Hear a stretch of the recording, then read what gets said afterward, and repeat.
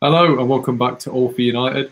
We've got a, a, match preview to do. I think it's all in the back of everyone's minds that we do actually have a pre-season game tomorrow, especially given the uh, the official tweet brought out today. We'll meet, briefly mention it, but we do have to stay on track according to the big boss upstairs. But yeah, we've got a brilliant panel lined up for you. I'm really excited about this show, so I'll see you on the other side.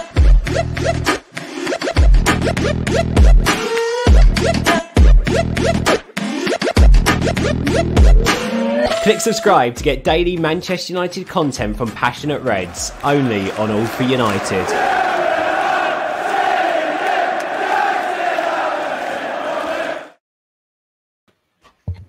Look at that, just like magic. I'm joined by three very handsome gentlemen in the panel and Stu as well. So, how are you boys doing?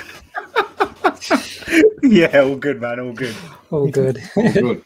Well, we've, already, we're, we're, we've, already, started. I feel so sorry for him. Oh gosh. Oh, I know. He gives it back. He gives it back. I do. Well, we'll, we'll, address we'll address the elephant in the room. Then, obviously, uh, we, are not allowed to talk about it too much given yesterday's show. But um, yeah, we've got. If there was any doubt about Fabrizio Romano's credentials yesterday, they've been put to bed today. The United account have officially announced that they've reached an agreement with Varane. Now, this doesn't mean he, the, the deal's done by any means. There's still a lot of work that needs to be put in, but the fact that they've tweeted it out is obviously a massive, massive boost. So, Bainesy, welcome to the show. I'm really interested to see what you think about about this caliber of signing. Rubbish, absolutely rubbish. Don't rate him at all. No, no, no, I'm joking. Uh, no, look, I mean, this is the type of player we've we've wanted. Uh, I've, I've, I've said for a long time we need a Bruno type player in the centre back, and I think we've got him. Uh, Rafael Varane. He's his CV just speaks for itself. World Cups, the Ligas, the Champions Leagues. I mean, uh, it's the perfect kind of player that we need. It's it's perfect for our spine. He's one on one really good. He's quick. He's I've heard bits and bobs about his aerial ability, but from what I, I've seen with Real Madrid and what he's won, I can't fault it. I can't fault it. And it's it's about time United get serious and start uh, really purchasing players at their absolute top and caliber. So yeah, I, I couldn't be any happier with Varane. It's, it's going to be such a good season ahead, hopefully, and uh, it could be the, the the signing that pushes us to a trophy. Hopefully, anyway. Absolutely, absolutely. I can't disagree with you. Uh, before we move to Alexi, as, as the banner across the, the bottom so perfectly says, please do like and subscribe if you're enjoying the content. We'll have more videos for you every single day. Uh, but Alexi, you know, uh, brilliant to have you on uh, as well. It's been a while since I've been on a show with you obviously, uh, Bainesy mentions that the credentials of Varane and the, and the stature of this signing. Given how disappointing our, our, recent transfer windows have been, do you think this summer is a real statement of intent from United? Yeah, um, great to be on, and yeah, no, definitely is. Um, when you look at it uh, objectively, you go, we never replaced Rio Ferdinand. Uh, we never replaced Nemanja Vidic, really. Uh, we never replaced Ronaldo. And then we suddenly kind of got Sancho and Varane, who I'm not saying Varane's going to be as good as Ferdinand, but it's a big, big start in kind of replacing that partnership. Uh, Varane and Maguire, Rio and Vidic, um, which is massive because you know there's been a void of talent at centre back for years uh, with Jones and Smalling and Rojo and all these players, and we've just kind of gone and got yeah, like a kind of Bruno type in centre back, or you know, he's kind of it's like buying the Mbappe of centre backs, isn't it? Almost, it's just like the pretty much kind of the best centre back we can get, really, because I think the other one is obviously Van Dijk, but we're not going to sign Van Dijk, obviously. So yeah, I, I think it's huge. And about statement of intent, it will be a statement of intent if we sustain this every window. It won't be a statement of intent if we do it this window and next window we just kind of don't spend again. But I am feeling positive about it overwhelmingly.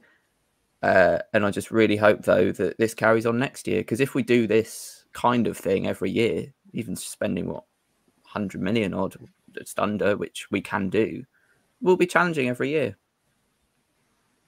Yeah, yeah, I mean, that's, that's fair enough. It's, it's, definitely something to aim for. We've been, we've been that devoid of success that we're, we're, sort of getting a bit desperate now. But, you know, Varane's not the worst option to bring in. Andrew, brilliant to have you on, mate. How are you feeling about the deal? Uh, very happy about the uh, the deal. So it seems so unlike United to, you know, do a deal so quick. It's usually long and drawn out, like like the Sancho affair that lasted like two seasons. So it's it's good to have a well, subject to the medical and the terms, which hopefully should all just go through. But Varane can fill that void and in the defensive defensive line. And I mean, his CV just speaks for itself on why he's so highly regarded in the world of football. I mean, over 300 appearance 300 appearances for Real Madrid. He's won three La Ligas, four Champions League, and about 10 other major honours, including a World Cup as well. I mean, I say we've never quite filled the void since uh, Vidic and uh, Ferdinand left. Okay, we've had Maguire, but there's always been that question mark over uh, Lindelof, and especially in the aerial duels as well. But I think Varane's confidence at the back will help us play a more forward-thinking game, and also I think he could have an influence on there. Paul Paul Pogba as well. It'll get him to be as good as well because they've only played on the international stage together, but that's going to change now. So it'll be interesting to see how how well those two link up as well. So hopefully he can bring out the uh, the best in Paul Pogba for him to work hard, and hopefully maybe he might stay, he might not. Yeah, let's hope so. Let's hope so. Well, Stu, listen, I've I've had quite a good happy day today, so I'm only going to give you two minutes at the absolute most. Given that, given, given that United have now officially announced it, well, not officially announced it, but released a statement, it's as good as done. Are you are you starting to get excited about this signing?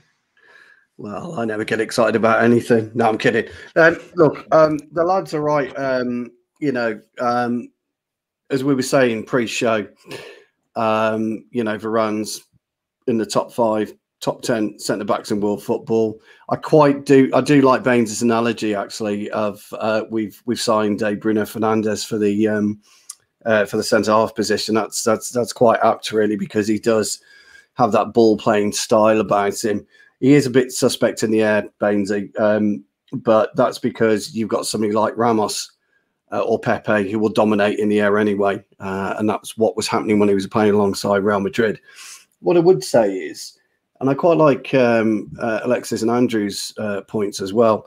We have struggled for a long, long time in two key positions, uh, and I'm talking about the club as a whole, really. And when you look back at uh, our goalkeeping situation, we struggled to replace Schmeichel until we got Van der Sar in. And then we would we've been quite lucky, Van der Sar through uh, to De Gea. We've been quite fortunate with that. But we've had this similar kind of gap between uh, Vidic and Ferdinand to potentially Varane and uh, Maguire as what we had with Schmeichel and Van der Sar coming in, and those are big points really. And I don't, I don't know, I don't know why we struggled there. We've had competent centre halves, but we haven't had uh, a centre half that could really dominate and, and, and bully centre forwards. Um, and Maguire's not quite there as a bully yet. I mean, he, I, I, suppose out of the two, if you can compare and contrast, uh, he's going to be more stronger. He's going to be the more aggressor. I know that a lot of people see Ver, uh, Varane as an aggressor, but I, I, I've not seen that. And watching him, I've not seen it because you can't be the aggressor when you've got somebody like uh, Ramos alongside your Pepe, who takes shithousery to uh, you know a completely different level to most centre halves, apart from Chiellini and Bonucci, obviously. Um, so uh, from a all I was kind of getting at over the last couple of videos was uh, just I've tried to offer a balanced view. It's kind of gone against me, really. I've kind of been bombarded with oh, "you're wrong, you're wrong, you're wrong." But um, look, time will tell. It's a great, it's a steal. I will say it's a steal uh, for was it 41 million euros including add-ons what was our, i think the upfront fees only um, I, think it's 41 million pounds so it works out about 50 million euros if you include add-ons that, that's including add-ons isn't it yeah so yeah. Uh, it's an absolute steal it really, really is a steal for his caliber um, i know we were linked with him when he was i don't know 18 i think we could have got him for about 3 million quid couldn't we um, but maybe, you know, maybe he's the right fit at the right time for the club, the way that Ollie wants to take us and he wants to run us on a 4 3 3. So, yes, James, smiling. You know what? I, gave you a little bit of an extension because you weren't as sad as you were the other day. But to be fair to you, we, it, no one wants to sit here for an hour and watch five people agree with each other. That's the beauty of it, isn't it? So we appreciate different opinions. We'll quickly, very quickly answer this because we can't talk about it for too long. But his injury problems now, I've, I've heard a lot. Of, I've obviously been spending my entire day being unemployed, watching interviews about Varane, watching analysis on Varane, and in recent in recent years, I think it has become a little bit of a worry. I don't think we're getting to uh, I don't think we're getting to sort of extreme measures, but you know there there is always an injury in him. I don't think he's quite an Eric Bailly yet, but you know if we get 30 Premier League games out of him this season, it's guaranteed to do us good, isn't it? Really? Can I just intercede on that just a little bit, just a tiny bit, and and that is, and if you think about it logically, he has had a couple of issues with injuries over the last four or five years. But when you look at uh, when you've got Pepe and Ramos, you don't necessarily need to rush him back. And the issue with a lot of clubs, and certainly with our club, is if Maguire was injured uh, or Lindelof, because they've been our you know our mainstay, haven't they, at centre half. You have to rush them back because other than that, you've got Bailly or you've got Tuanzebe. So it's the only the only crumb of comfort I would say to the special one. The chances are he's probably had that more recovery time because there's a less of a need for him to yeah, come straight back good, in. That's a good point. He's probably fully recovered from every injury he's had, hasn't he? But listen, yeah. we'll, we'll, draw a line under Varane, otherwise I'm getting sacked by Ben tomorrow. Uh, that's a, that's... I think you muted yourself, James. You muted yourself. Ah, come on. That's a rookie oh, error, that one. Schoolboy, schoolboy. But yeah, he was getting sacked and then he mute, muted himself. just, I'm just keeping you all on your toes, adding a bit of excitement. But yeah, back to the topic at hand. Um, we do have we do have a game tomorrow, and um, I, I, forgot about it. Really, I don't know if you lot did, but obviously thinking about it today, Brentford, uh, Manchester United versus Brentford. I believe it is at Old Trafford as well, so that'll be good. Um, Bainesy, I'll come to you. Obviously, after the disappointment of the QPR game, in terms of performance and result, what do you think needs to change for for the game? The whole, the whole first eleven needs to change. Uh, no, look, I mean people who take preseason games really seriously just give your head a wobble a little bit. I mean, look, we had all of our under 23s playing, I think, apart from Wan Bissaka, I think it was. Um, I mean, can you really count Lingard? I don't think you can. He's going to get sold. Um, uh, for this Brentford game, what I'm really looking forward to is the actual formation we'll play because there's a lot of reports coming out that uh, Ollie wants to change to a, a more attacking 4 3 3. And it'll be interesting to see how that dynamic plays. Now, look, he hasn't got the personnel to do it. I res- that's that's fine, and I don't even think half the squad's even back yet. Uh, Bruno came back today, so he won't play tomorrow. Um, but it'll be interesting to see the formations on that on that game. Um, I'm not too disappointed about this QPR game. Um, look, it's a it's a it's just a preseason game where people just need to get minutes into their legs. They've just come back from a two, three week holiday. Just get a bit of rust off them. It's fine. I'm not really concerned. I'll be more concerned when we get into the latter stages of preseason when we're playing. Um, is it we've got Everton? Is it Everton? The last game of preseason. Yeah. Um, and then we've got uh, we've also got Brentford tomorrow, and then we've got Preston. So it'll be interesting to see how the Everton game goes on because that will give us a really good indication of where the players are in terms of fitness because that's all preseason is is just fitness and working on certain tactical parts of your game. Um, but yeah, uh, uh it'll be it'll be interesting to see. I'm only looking at formations tomorrow. I'm not going to look at who's playing, how they play the team usually gets changed at half time as well. So there's 11 subs that come in. So, yeah, I, am not going to look at the scoreline at all. I'm just going to look at how we play on formations and who gets those minutes. More importantly, I think. Yeah, that's that's fair enough. That's fair enough. Well, Alexi, I'll, I'll ask you this question based on the comments because this is an interactive show. We do want people to get involved. There's a couple of comments that have sort of brought me to my next question. Jake is saying who who is expected to play, and uh, do we know if there's any first teamers to join up? Yet. Um, I've read that Van der Beek and Dalot could be involved tomorrow. Yeah, yeah, now, yeah, You know, given given Van der Beek's tough season last year and, and Dalot sort of seemingly falling out of favour, are you expecting to see them and are you expecting a big performance from them?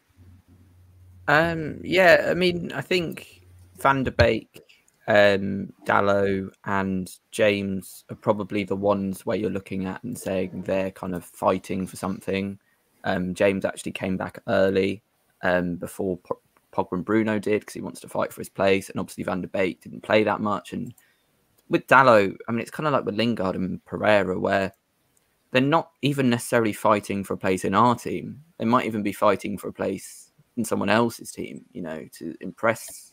You know that that's why I find this preseason so strange because of the Euros.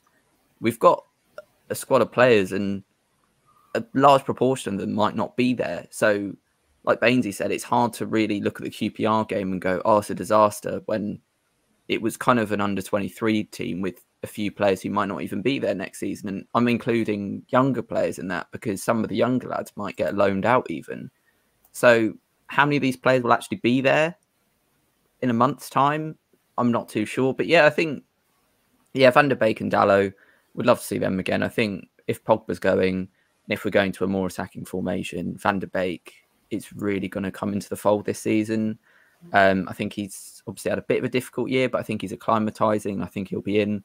But Dalot is a strange one because Ollie just doesn't rate him, does he? I'm not completely sure why. I mean, I've never been overly impressed, but I wouldn't mind just having him as backup Dalot, to be honest. But yeah, we're going to see players fighting for their places because they have to. And obviously, uh, something as well, I guess, uh, the goalkeeper situation as well. Uh, Dean Henderson will be back in soon. De Gea will be back in soon. And there's that dynamic. So there will be players fighting for just for different things. Younger players fighting to impress for a loan maybe some players like Pereira fighting to get a transfer to a club, and then obviously like Van der Beek fighting to get into the team. So there's a lot of dynamics going on. Um, yeah, I'm looking forward to it.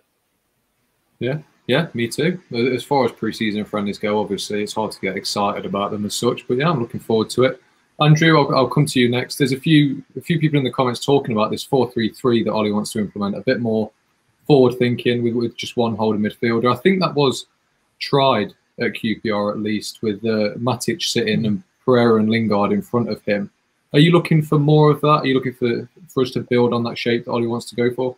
I say, yeah, I'd like to, Ollie to go with that sort of formation. I mean, because I was at the QPR game and say, well, we need a slightly better player than uh, Pereira because I just felt like he did nothing in that game. Whereas Lingard, he was he was more lively. He scored the goal, but I mean, in terms of preseason results, they can never tell how good a, how good of a season we may have. I mean, it's obviously it wasn't a pleasant experience for those players conceding four goals, but the aim of the preseason is to get the players fit and assess, and for the coaches to assess them. It's just and coming back from the game, I was like seeing on social media Ollie out and oh. this t- this team. I was like, come it on, it's, it's, it's, just pre-season. Yeah. I don't maybe because Ollie had signed the new deal and then how he played, he just like he just played into those United fans. It was like who don't like Ollie at all. I was like, well, just give your heads a wobble. But yeah, uh, so I know Ollie uh, said that Maguire, Rashford, Shaw, and Fred. I think they're due back next week.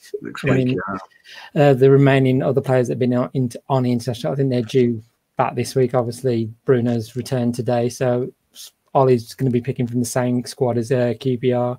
I expect uh, yep. Jesse Lingard to start again, so and he'll want to uh, impress as well because I know Ollie said he's in his plans for the season, but whether that means he gets to start any games is another question. So I know when he was on loan at West Ham uh, last season, Jesse said, "Oh, I just want to." Uh, just want to uh, uh, just want to play. Uh, I say another player I'm looking forward to seeing is uh, Anthony Elanga. I thought, even though we were losing the game, Anthony just looked every time he was getting good. he, he, was, good. he was a threat, and I was like, "You're yeah. going to do something here." And I think he had, besides the one goal he scored, I think he had two other great chances. I thought if he'd have put them away, we might have ended up drawing the game. But it's, I say with Brentford, I think they've had a good start to their preseason. I don't think they've lost once yet. So, and they'll want to prove a point before they begin their uh, Premier League season. So, in terms of uh, say Van der Beek, I know he's back. I think he might get on in the second half. Maybe uh, Dalot, as well. But I think is Martial might... back? Yeah, he's, he's, he's back in training, but I don't think he's, he's in line to start. Yeah. He won't. He won't play tomorrow then. Mm. No, I don't think so. No, I don't think so. It might be a bit of a surprise if Harley might throw him in. Yeah, you don't know. Yeah, but yeah. Might get twenty minutes or something. Yeah. Yeah. So we just just want to see United have a more assured defensive display, and well, and but as I say, he's going to play in the under twenty three, so we just just gives them more minutes, whether some of them are going to be in the plans or not, or just for the loan deals or for players that are going going out. It'll be interesting to see how we play tomorrow. Yeah, yeah, it will, it will definitely be interesting. That sort of leads me on to the uh, onto the question for you, Stuart, because yeah. we, we, we want to be entertained, I suppose, with every game of football I watch. It's not too important in a friendly, but who are you wanting to see tomorrow? Because a, a suggestion of mine would be that I'd, I'd like to see more of Hannibal. He's not got many minutes so far, and I think he's he's a player that can really bring the game to life. So, from your perspective, who are you wanting to see on that pitch tomorrow? Yeah, you see, you're absolutely right there. You see, tomorrow, unfortunately, again, is a it's a, it's kind of a nothing game for us. It's a bit like QPR, and uh, it's a bit like um, I can't remember our first friend. It was now. Mine's gone. Who was it, Andrew? Because you were there. What the first the first friendly? First friendly, yeah, because Andrew was Yeah, there. against- Uh, against D- Dar- Derby. Derby, Derby, Derby, yeah, Derby. No, So- yeah. I was Uh, gonna that was Ollie's- at a much slower pace there than the one Yeah. against QPR. Yeah. Yeah, O- Ollie's Ollie's got uh, it, this preseason is is very very similar to the kind of last preseason. You know, you've had the Euros, uh, and the bulk of the squads uh, got through to the final. You've had the Copa America, and now you've got the Olympics. So you've got players drifting in and out all of the time. And whether he plays a 4 3 3 tomorrow, 4 2 3 1, or 4 4 2, doesn't really matter because when we come to the game on the 14th, um, uh, against Leeds, then the personnel is going to be completely different. We want to be testing out formations when that personnel is back. So, in answer to your question, James, I'd love to see uh, Mejbri, uh, play, uh, Shoretire play a full 90. I'd like to see Donny van der Beek come in and play full 90. He won't because he's getting over his injury. Uh, I think playing Tom Heaton for a full 90 would be better for him. Stop changing him for Grant because there is a, a, a slight possibility, isn't there, that Henderson still might not be fit. I don't think as a goalkeeper you get over a hip injury just like that. No, that's Uh, a serious injury for a goalkeeper. Yeah, and obviously we don't know. You know, I, I don't know if De Gea is back yet or is he still away. I'm not quite sure. So I think tomorrow, uh, get Mata in. Get you know, we signed uh, uh, uh, you know for another year. Let's get him playing. Let's get Matic playing. Let's get Wan-Bissaka in there playing. Hopefully, Tuanzebe and uh, Mengi will have a much better, solid performance uh, than they did against QPR. Uh, you know, anytime D- Lyndon Dyke scores against you, it's a real problem. But let's let's flip it because here's the real key to this now. Brentford have probably got one or two weeks. Most of their players will have one or two weeks on us, and they are a wonderfully talented football team. Wonderfully talented football team. They play the simple things very, very well. You know, they pass up from the back well. They have players that take chances. They're not afraid to receive the ball. They're very, very quick. One, two, three passing. Their through balls are quite usually quite accurate.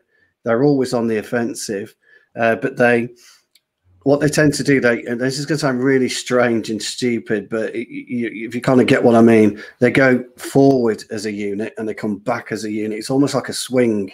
They go forward together and they come back together. So when they're out of possession, they're brilliant, but their turnover and their recovery and then their forward play, it kind of it's it's almost a swing in motion. It's it's wonderful to watch. Now I didn't know a lot about Thomas Frank really until he came, to Brentford. I don't know about any of you guys whether you knew about him. I didn't know at, at all, and he seems a, a very intelligent coach. And I think uh, it will be a wonderful test for us and a great test for uh, the younger players. Uh, but I do come back to what I said a couple of days ago, James, if you remember. There is a huge disconnect, isn't there, between under 23 football and Premier, Premier League football. Once the um, once the uh, demise of the reserves was taken away, and under 23s, they're playing very similar style, you know, built footballers. They're playing against, you know, same height, same width, you know. So I'd love to see our, our younger players like Mejbri, uh, Elanga again because I, I do I do like him. I, I, I rate him. I'd like to see Garner get a, a game tomorrow. Levitt uh, get a game and just see how they handle themselves with a bit more of an intense and better, you know, better skilled footballers on the pitch. It'd be a really great test for us. Uh, yeah, shame on I, I, can't go really, but uh, yeah, I'm looking forward to it. So sorry, I diverted a little bit, James, but I just wanted to make that point that I think tomorrow's going to be great. But all in all, it won't matter until we do get most of our, our Full team. 11. Yeah, Yeah, sorry, yeah, it's, it's finding that balance between getting your first team players ready and and giving the youngsters some experience, isn't it? I think, but um, Yeah, don't don't worry about going off on a tangent. We've got some time to fill talking about Brentford. So I was hoping you'd come on, come in with a little rant. Um, hey, just just thinking ahead though, and it's something to consider. By the way, that that when we get uh, to this time next year, we don't know how it's going to look, do we? Because we've got the World Cup. Yeah, I've always I, in- I don't Qatar in I still don't get that by the way mm. because it's a it's definitely a winter World Cup, right? So how It still is, yeah. I, I, I don't get so does the season just stop and then I'm not. I'm not World sure. Cup and then it starts Yeah. again? Like it's So Yeah. I don't know. I don't know. It's logistically it's going to be a nightmare. my understanding of it is it's literally the season's going to stop for about a month and a half or two months and then carry on, which is really bizarre because, I mean, when's Money that? talks, doesn't it? Though, at the end of the day, that's what happens Yeah. when you have a Well, few they- billion quid. You can just quickly side pass to FIFA. Well, are they exactly. keeping the winter break? Are they, or do you know? Yeah, yeah. I, I, I think. it's the, is the winter break in January this year? Will they keep? Yeah, it yeah, yeah. It's, it's. January for two weeks, isn't it? yeah. Teams have a Um, week off and then a week on, don't they? Do it. do That's like it. that. Yeah, that's it. That's it. But yeah, so it's going to be three years in a row of just really disrupted football, isn't it? Then I Mm. guess. Mm. I guess that's what I I that's what I was leading towards, really, Alexa. I guess. Yeah, I mean it's, it's bizarre. I mean I don't for the life of me understand how it's going to work. Just No. having a World Cup like that because you're just not really going to be in the mood for a World Cup. Because let's say we're like ten games into the season and we're top of the league, or Yeah, and then everyone on, has and to then, everyone has to piss off for a World Cup. Yeah, yeah. and then it's It like completely oh, breaks the let's go watch flow as well. Yeah. And what what if like you know Fernandes or something gets a really bad injury in the World Cup and then he's out for the season? It's ridiculous. Like I just I think it's a crazy idea, but I think, Yeah. I think another negative of it as well is games are going to be crammed in. You're going to have to Oh, get terrible. You're going to have to get the, from the start of the season to December, the end of December's worth of games crammed into the start of the season to the beginning of November, just Yeah. to make the season schedule work. And I think that's going to the, the players aren't getting enough rest as it is. It, it's not going to be nice at all. And they got to qualify as well, haven't we? They've We haven't yeah, qualified. Yeah, we've got to yeah. oh qualify. my god, yeah. yeah. I think That'll probably World end up that'll probably be ending up doing though at the end of this season, sort of May, maybe June time. Yeah, we think maybe so. maybe the qualifications end, or actually no. Usually they're during the season though, aren't they? So yeah, I, I, I don't I don't- I don't get how that preseason works because you would have six weeks off in that summer, uh, next summer I'm talking about, and then you'll have the season. And like James says, you have to just cram all those games in. Mm. Yeah, it's going to be it's, that's going to be an interesting one. And again, it's it's only the players that are gonna they're going to suffer from that. I think the uh, World Yeah. Cup, I think it ends the week before Christmas. So literally, the players will be back, and I think they want to restart the Premier League like Boxing Day. There So and they'll- then, Oh, yeah. I Yeah, wanna just like, the let's Boxing get Day. that. Right. Bloody hell. Spot That's on. Awesome. It's not The World happen. Cup final is on my 22nd birthday, so if England win the trophy, that'd be Oh, that'd be a nice little present, Yeah. wouldn't it? Wasn't it, coming James? are Coming we home, gonna, it's coming are we going to start the coming home? It's coming home. No, Yeah. no, no. I, I don't, Bainesy, you know, I haven't got that much of a sense of humour. Mm-hmm. oh my god! theory. yeah. But anyway, Yeah. we, before before Ben does actually shoot me, we do have to talk about the game tomorrow. Yes. I wanted to pose a question that was open to all of you, so I just want someone to sort of butt in with your answer to it. But Brentford have already had three preseason friendlies. They, they obviously got their preseason started a little bit earlier. Now, uh, this isn't a worry for me leading up to the game because obviously the game isn't really that relevant. But is it a worry to anyone else that you know Brentford won't be the only team either that have done more preseason training than United. They've done more preseason friendlies than United. Is it a worry that teams might be better prepared for this season than we are? And uh, given how poor our start to the season was last year, is, is that a worry for anyone? For me, yeah, definitely.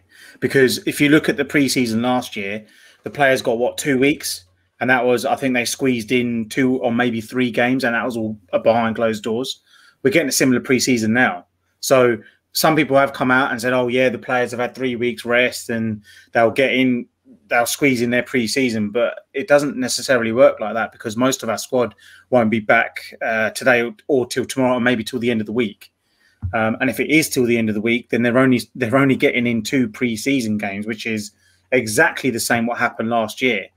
Uh, not to mention, also, I think people were sleeping on Leeds, who most of their players didn't go to the Euros. So not only did they have the whole Euros as a break, they then come back, had another extra two weeks, and we know how Bielsa sets up his teams. They do not stop running. So it'll be very interesting on that first. I'm not trying to downplay it in any way that I'm trying to save face or say that United might lose.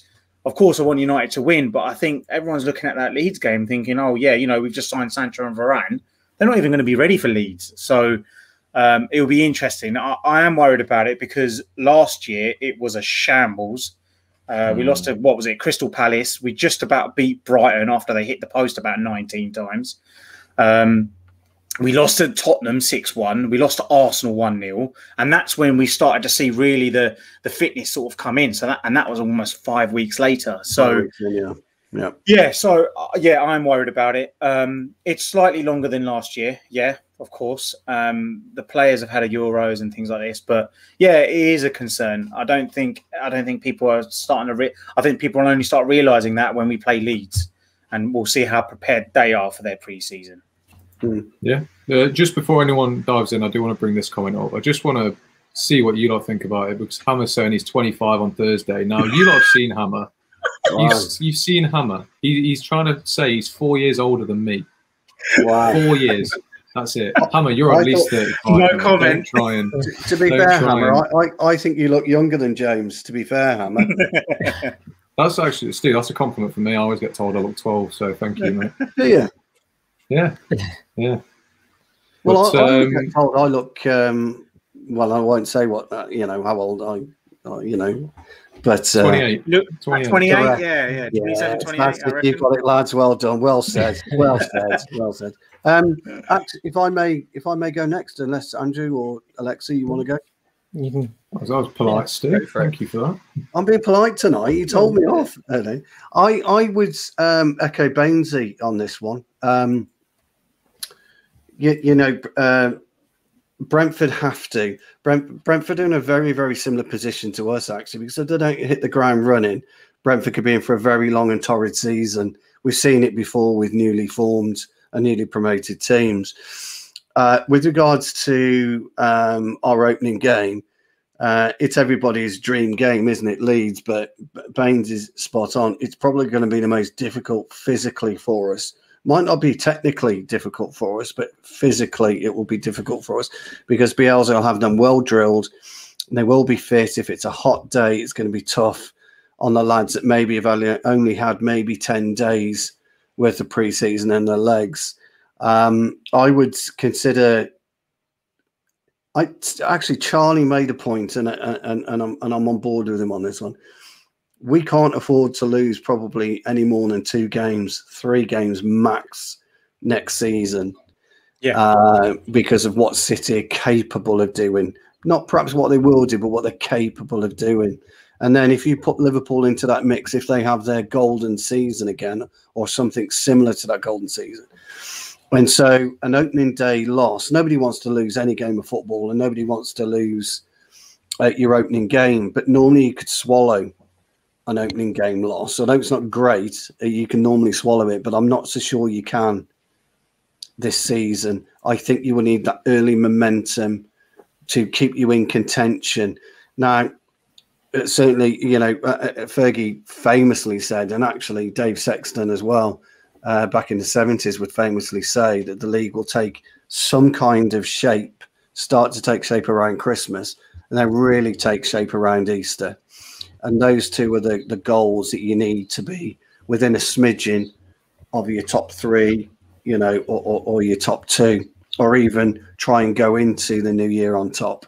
And so I, I am actually with with Bainesy on this. I think Ollie's got a bit of a he's got a, a headache. Task. Yeah, he's got a bit of a headache on, on what he does and how he manages it. Um, I don't think it's going to be easy, but um, my lad will be there. Um, we only renewed uh, one of our tickets this year, so uh, me and my lad are sharing it. So he'll be there for the opening day, and I just hope we we can get over the line. And that's not being, you know, you yeah, know, pessimistic or anything like that. It's just a, it's just a view. I don't know what everybody. Fair, though, to be fair, though, just to add on to that, I think in one of the preseason uh, post interviews, I can't remember if it was after Derby or QPR. Ollie said it, and he said that you can't win the league in the first five games, but you can certainly lose it. So yeah, yeah I mean the first the first five games is uh, Leeds, Southampton, Wolves, Newcastle, West Ham, Villa, Everton. But then you we've got a stint in October and November where it's Liverpool, Tottenham, City, Chelsea, and Arsenal all one after each other. So yeah, it's it's it could be. You're right. It could be won or lost. Uh, sorry, not one, but it could be lost uh, in in those first five games. And I don't think Leeds is a is. Uh, if you ask any Premier League team, what team do you want to play first? Leeds would not ever be someone's choice. And we saw last year actually, they they almost beat Liverpool. Liverpool well, were lucky to beat Liverpool, shouldn't they? Yeah, yeah, yeah. yeah, yeah. So, yeah. So yeah, it'll well, be interesting to see anyway. Well, I want to I want to get Alexi and Andrew involved. Again, oh, go on. Sorry. Yeah, no, I was just going to say as well, like uh, linked to what Stu was saying. I think football's changed slightly over the last decade because before a lot of the teams uh, we won kind of the league with, we could have really appalling starts. Like we used to be pretty poor at the start of seasons. I think even 07, 08, we drew a lot of our first few games. I think maybe draws with Newcastle and Portsmouth, and we were quite a long way behind. Uh, 12 13, uh, we lost to Everton yeah. at the start. Yeah. I mean, I think was it 98 99 like wasn't a perfect start as well. Like it used to be the case that you could kind of be a bit dodgy for a few months and then we always just won. It would be like arsenal or something atop and then we just won about 10 out of 12 games and then we'd be top. But that's not the case now. I mean a couple of seasons ago you know we got 81 points and lost the league by about 19 points i think. Yeah. Um, yeah it's completely different now and then that is exactly the thing that that's why preseason, I guess now you could argue is more important because if you lose your first two games, you know, like you guys were saying, we know what City are capable of. If they have another hundred point season, you're basically not catching them unless you win pretty much every game, every game for the yeah. whole season. Uh, yeah, you know? absolutely right. Yeah, T- totally agree. Yeah, well, and it is it is just a worry, and like I completely agree. Playing Leeds on the opening day, like they are going to be very fit, and you know it's a worry. But I I think if we can come through those games with wins, and then when we get properly fit for the big games, we should be all right. Because last season, if you look at it, it's obvious. But the points where our players were properly fit was when we were actually pretty much challenging for a league.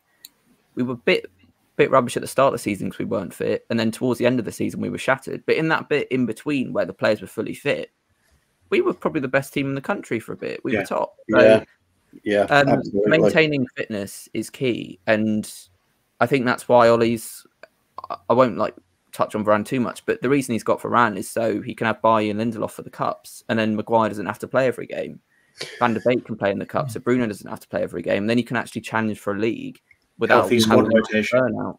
And, mm. and you've got Lindelof, don't forget Alexi, you can fill in at right back. He plays right back for Sweden. Yeah, yeah, yeah, exactly. If, needed, if ne- you know, if needed. So th- th- there are options there, and if we do bring in Trippier, um, I mean, crikey, we all raised our eyebrows, didn't we, when Trippier started off at left back in the yeah. opening in the opening game? Did all right though, didn't he? he? he? was brilliant. So yeah, if we are all right, yeah. if we are able to get Trippier, it gives Ollie other areas. So yes, I, I totally agree with that. Sorry, James. Well, I was just going to ask Andrew a question because there's been a lot of talk about gaining fitness over pre-season. Mm-hmm. But I want to ask you sort of how it will affect our preparations tactically as well, because you know Varane and Sancho come in; they're, they're highly reputable players. It's obviously going to have a big impact on the dressing room.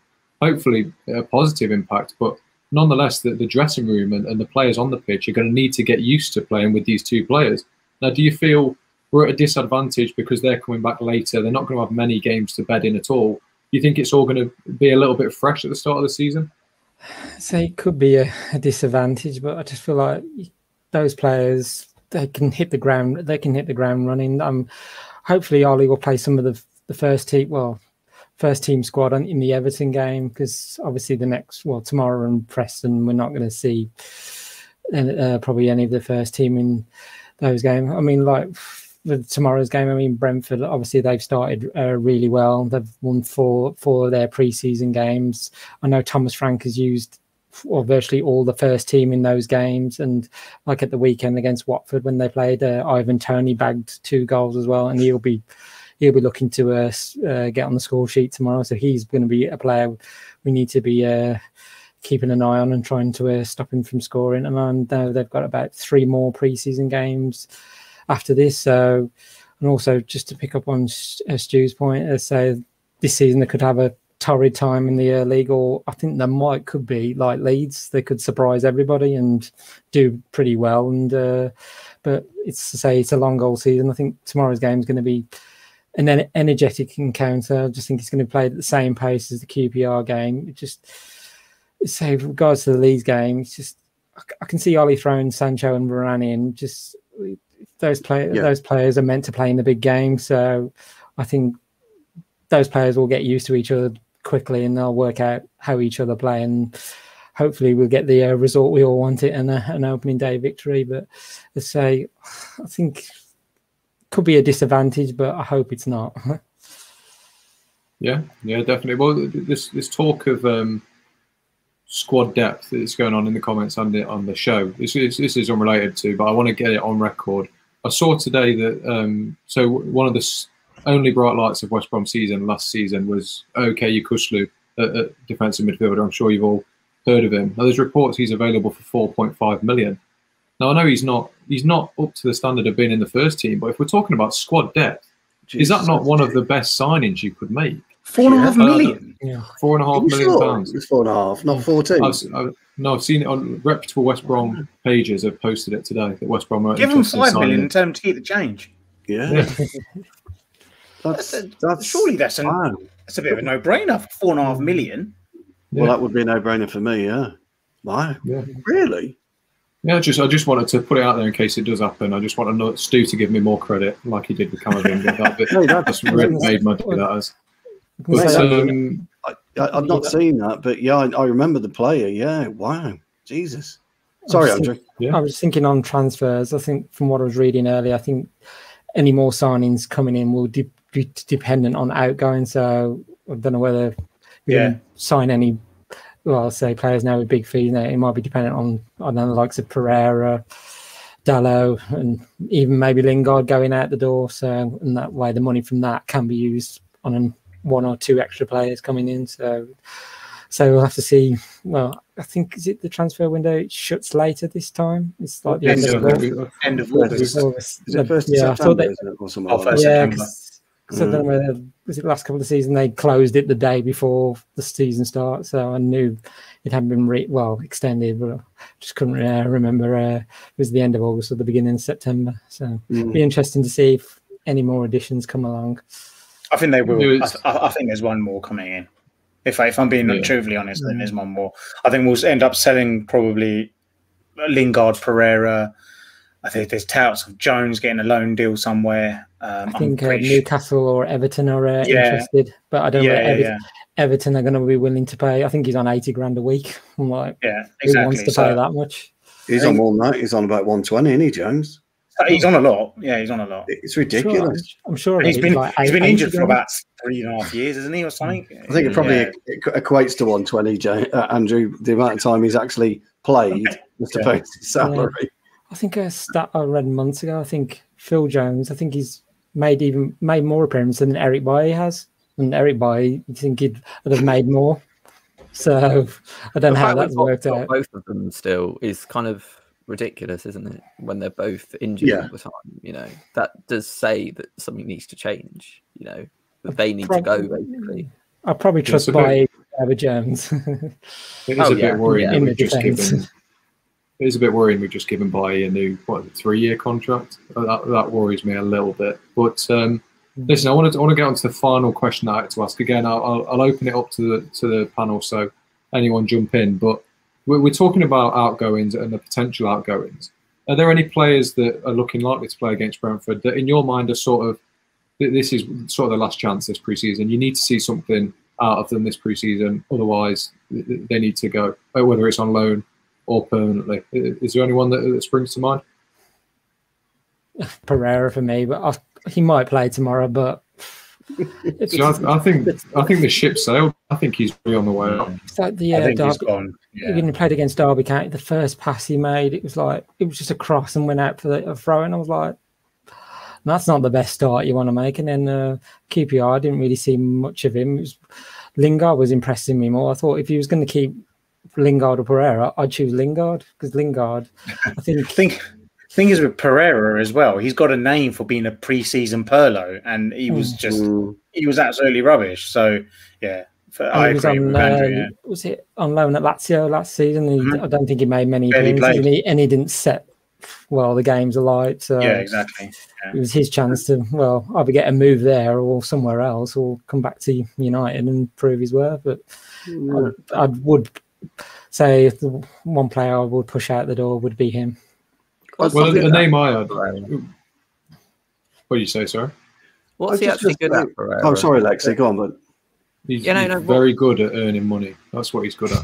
Yeah, like I've just never known. I remember when like he was kind of coming through a few years ago. People used to rave about him, and I'd say to people, "What's he good at?" And they go, "Well, you know, he's just good, isn't he, at, at various things?" And I'm like, "But what's he Yeah, actually good at?" I don't. I've never understood it. Seems like a lovely bloke. Don't get me wrong, but I I've just never understood what he can do. Really, to be honest. And yeah, he, he's got to go. Uh, uh, sorry, Alex, I'm only giggling because I said that I put that I posed that question last night to the panel about Varane. It's exactly what I said. I asked that, didn't I, James? I asked that Really? question, Yeah. and everybody Uh, go, yeah, they go like, mm. looked at Yeah. it's it's a really good point actually. It's a and I always think it's a great question, and it's that type of question stumps a lot of people because a lot of fans they go to the game, they soak up the atmosphere, they watch the game, but do they really watch the game? And so, like Andrew, yourself, Bainesy, James, you, you'll you'll watch the game in its an entirety. You know what players are doing off the ball as well as what they're doing on the ball, and what they, actually do they give is his spatial awareness any good? Is his vision any good? Is his touch immaculate when he gets it? Can he pass it two yards and then walk three yards into space to receive it and move it quickly, all within the space of three seconds? You know, things of that nature. And uh, he never offers that. And he reminds me very much of Cleverley.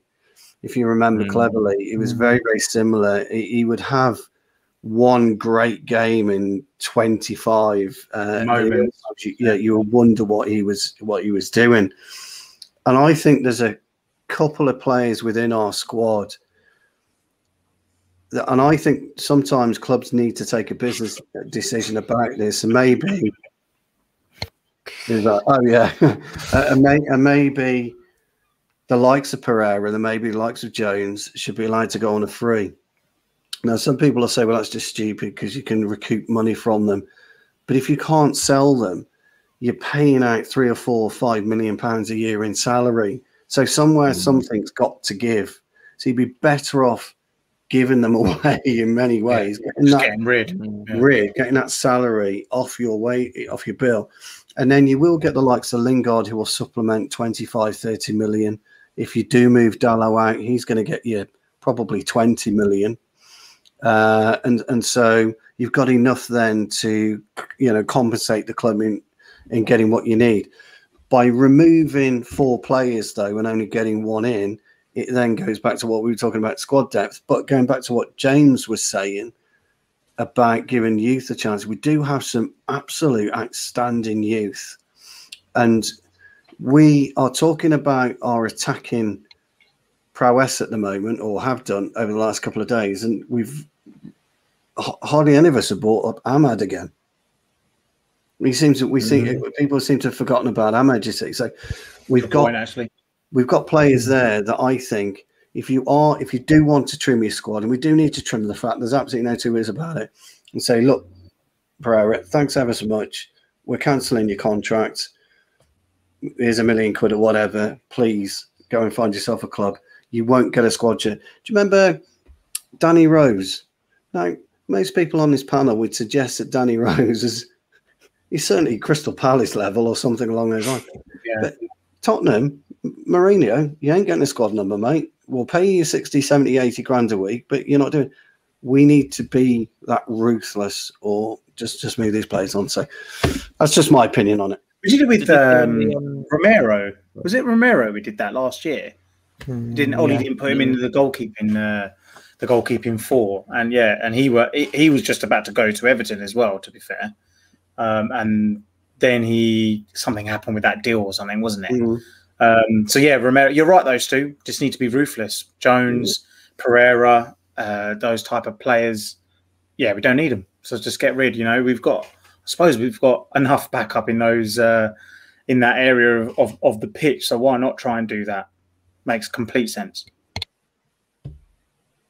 Yeah, I mean, uh, one one player that I had in mind in terms of the question that I asked earlier is maybe Brandon Williams because I, I don't want to get rid of him uh, permanently. Obviously, they, have had the discussion in the comments. I've been reading them. It's been a pretty good discussion as well.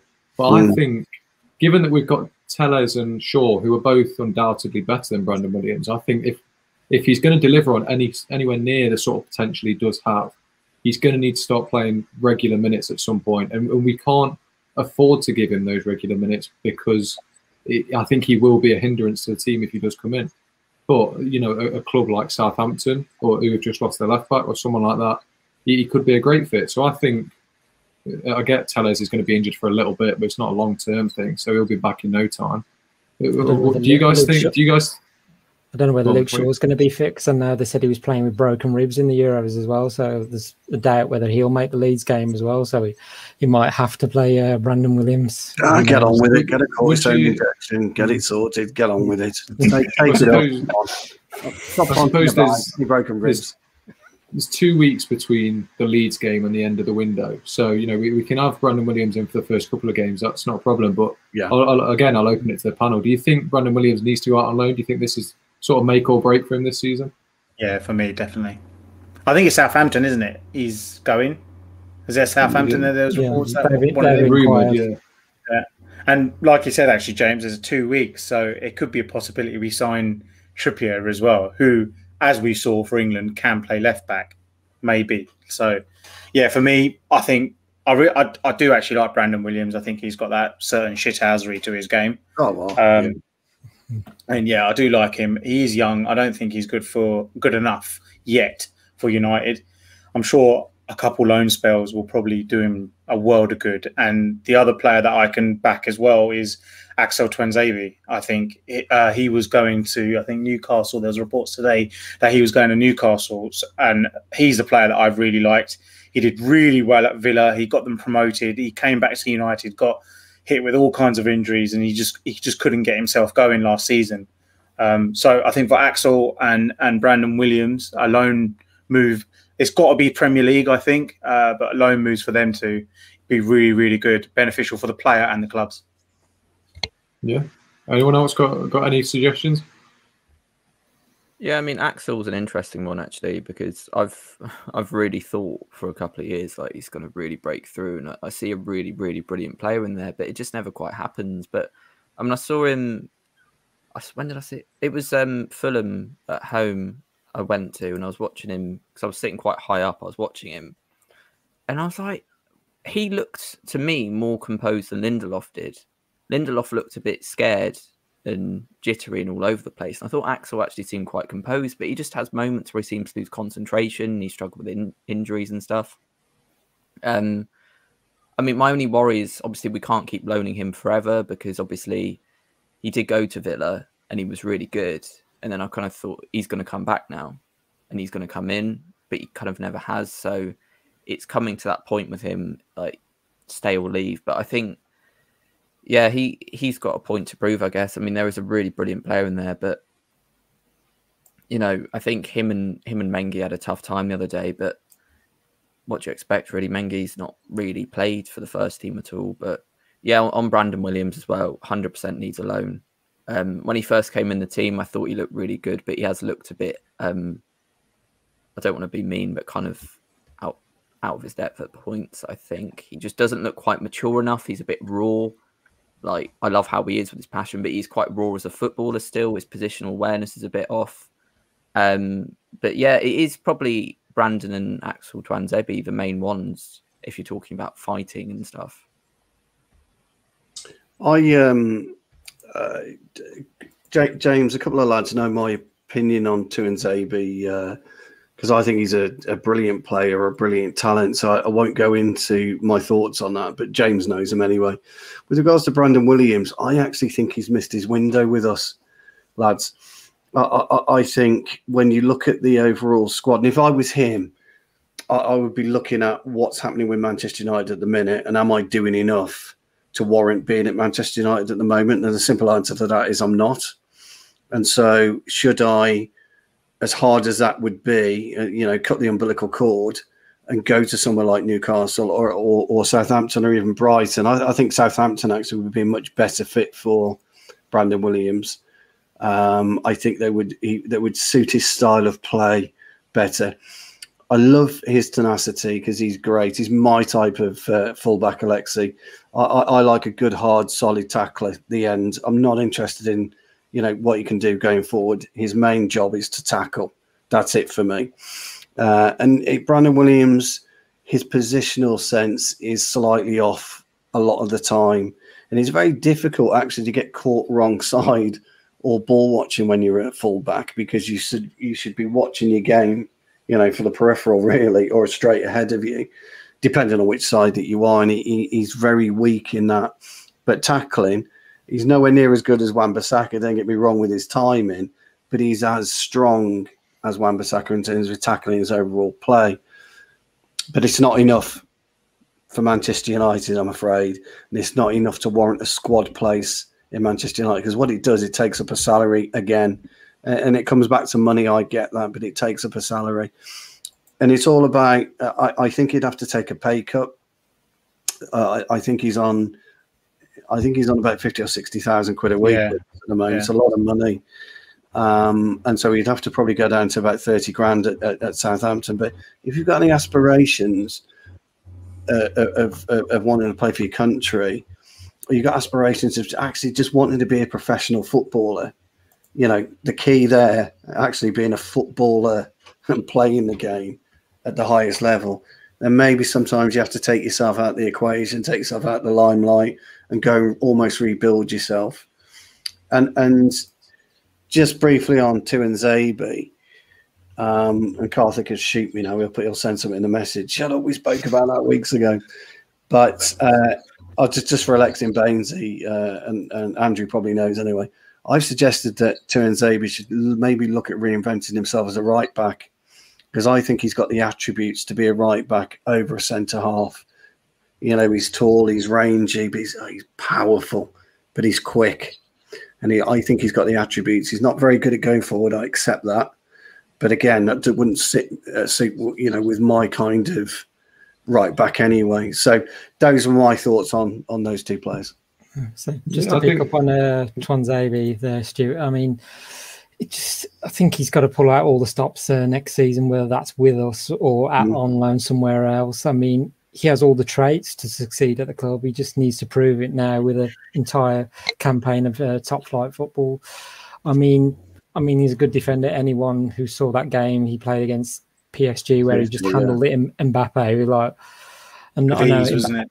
Mbappe's pace is because when he they played at Old Trafford, his pace is frightening, and the way Tuanzebe handled him in Paris, like I thought mm-hmm. Mbappe was just going to run all over him, but he just kept with him, and then he he need where he stays at the club. He probably does need a, a loan where he can play week in week out. I mean, I mean, best season he had was at the uh, Aston Villa, and I think that was in the uh, the Championship there. Championship. So, but but he needs like Brandon Williams regular regular football. So it's just he, he, played it right back a couple of times at Villa, you know. He? He, yeah, was, yeah, yeah, He played. He, was, played all was. over the shop. Yeah, yeah he, did. He did. And there's and, uh, one game for United. Was it the League Cup last season against Everton? I'm sure Everton, he put him in at right back as well. Right back. Yeah. And, and you know the PSG game you're talking about. He played in a right of the three. Yeah, right, he was he was a right on the three, if you remember. So he was very comfortable there. Mm-hmm. And yeah. and I, I thought that PSG game, to be fair, I thought that PSG game was him saying, "Okay, I'm good enough." Yeah, I, I, generally I'm, thought that was him going to be mm. sack Lindelof off. I'm I'm good enough to go into that mm. squad, but I think he just I think he got an injury or he had a moment in a few games yeah. where everyone started questioning him again. Um, but I mean, let's see. yeah. A question, a question for you, Stu, though, about Brandon Williams is: Do you mm. think he's a late bloomer in terms of? Do you think he will go out on loan and he will develop and then become like this all-star left back that we've that we've always wanted, or right back even? Unfortunately, I, I, I don't. Uh, I understand the question, and I don't. And the problem that he, he has had, if you look at Brandon Williams over the last eighteen months, he, you know, um, three or four games left in the season, wasn't he? Back in the under twenty threes. Yeah, I think so. Well, yeah. That's a bit Yeah. of a kick in the teeth for a a first team player, an under twenty three player, and in sixty grand a week. It's yeah, not exactly. right. And, and so, so I, Still, I, I, I will. I will say I think that was partially due to him coming back from an injury and trying to find fitness. Yeah, I, I, I think so. But th- that's the problem with under 23s, though, James. What I was talking about, it doesn't offer you that. It doesn't offer you that type of road back to first team football. Um, unfortunately, it's such a shame because the under 23 games, it, it's probably a bit of a nothingness. I think the Premier League is big enough now, and English football is big enough to put in a a, a proper I don't know, do you want to call it Premier League B, whatever? It's something very a structure that's very, very similar to La Liga, Mhm. where you know there's a Real B, isn't there, or a Yeah, there's a Barca B and a Real B. Barca and- B, that type of thing, Yeah. and and, and and I, and I think that would be a better transition uh, to first team football because you could have the likes of Telles playing alongside and there to to Nzabi. You'd be playing against a much better uh, equipped opposition than what you're playing against an under twenty three. Standard goes up, doesn't it? Yeah, I take your point, though, mate. It probably was, but I, I, my fear with him is that he's going to be another Cameron Borthwick Jackson. Uh, you know, who, who, yes, we all thought had a wonderful, but you know that type of thing. Um, and Alex Love, who, who came in, I think it was Alex Love, wasn't it? Donald Love, sorry, Donald who Love, yeah. came in. Oh, yeah, yeah. you're right. You, you know, you know the types of player I'm Mm. talking about, don't you? And I think Brandon Williams technically is a better all-round footballer than that. So I don't want to. I just think he'll rot with us. That's the biggest. So I would say if we can get some money, I would take take take the money. Stu, you're just trying That's to fair point. flex all your uh, sort of weird football knowledge, aren't you? I know. a I player who reckon Stu plays for plays football. Well, I'm gonna I'm gonna I've, I- I've already credited you for something. I'm now going to credit Mr. Wall for the old Donald Love. He bought he mentioned Donald Love um, uh, last season on a couple of occasions. So uh, there you go. Did He can't even remember it, but he did. Yeah. you can't remember it. Yeah, I was just Yeah. about to say Uh, he's, he's looking like, what was he on about? So, so Mr. Mr. Yeah, Wall getting the thumbs up. I was going to say the other player I was thinking of was uh, Paddy McNair as well. Oh, Paddy McNair, yeah. Yeah. Tyler, Black, Remember was it him. Tyler Blackett. Well, was it Tyler LVG Blackett. that played Tyler Blackett Yeah. and Paddy McNair as centre back, wasn't it? Against Everton. Yeah. Was it I Everton? think so, beat. Arsenal with them as well, I think. Yeah, he played uh, Yeah. Arsenal and uh, Everton when David De Gea made a penalty save in that last. Yeah. Yeah, I remember. Yeah, I remember now. I I mean, the you know, football's littered though with talent, isn't it? You know, proper talented players that have flattered to deceive and have failed to actually deliver on their promise. Um, and the, the reason is they were never they were advised badly, or the clubs couldn't couldn't do anything with them. But they never really, you know, sometimes sometimes you've got to fall on your sword to succeed in life, haven't you? And and, I think Brandon Williams although he's only young, he's at that career where he's at the tipping point of falling on his sword and he needs to make a decision. He needs to be properly advised onto how to prolong your Premier League career. Because you don't look, we all know about Ravel Morrison. There's been, there's been loads of them. There's been Danny Cadamarteri at Everton years ago, burst onto the scene, and who's he? You know, nobody's nobody talks about him anymore. Jermaine Pennant. You know, these players, if they were advised better and made better choices in life, they could still be playing now. So that's the only thing I would go. But I wouldn't say no to a loan, lads. Don't get me wrong. I, I just think for him and for the club, a partner ways would be better because we would recoup some money. Uh, and it opens up, especially if Trippier comes in. What seriously? What will he do if Trippier comes in? If Trippier comes in, he's Brandon Williams is done. At United, he's done. I, don't- I can't I can't see him being better than Aaron Bissaka, Trippier, Luke Shaw, and Telles. There's no way. I don't. You. I think everyone can agree with that. That there's. I Mm. don't see much in. Well, I do see a lot in Brandon Williams, but is he really going to develop so much sitting in the reserves or under 23s or on the bench when you've got those other four playing? So a loan does make sense, and if he does well, then we can go and sell him. Yeah, and Jesse. Lingard should be an advert for this, basically. Yeah. Yeah, yeah. Going on a loan to a Spot smaller team. And I think I know it's not United related, but it's something Dele Alli should have done uh, Yeah. in January. because he might have gone to the Euros if he'd done it. And yeah, I think there's a lot to be said for going to a smaller team and thriving, and then suddenly you you're in with a shout for England squads and stuff like that, and a big especially Lingard because he mm. looked like a 10, 15 million pound player, maybe even less. He went to West Ham, absolutely tore it apart, and now everyone's saying he's a 30, 35 million pound player. So it's like mm. it's done wonders for him, for United, and especially for West Ham, who need a player like that. So yeah, yeah it makes complete I, sense. I, I, tell you, who I'm quite interested to see um, is Billy Gilmour. See how he gets on at Norwich because I quite like rate him. I think he's an excellent uh, midfielder. It'd be interesting to see how he gets on at Norwich. And there's a good advert there for younger players to say, look, you know, you know, maybe I should be trying this.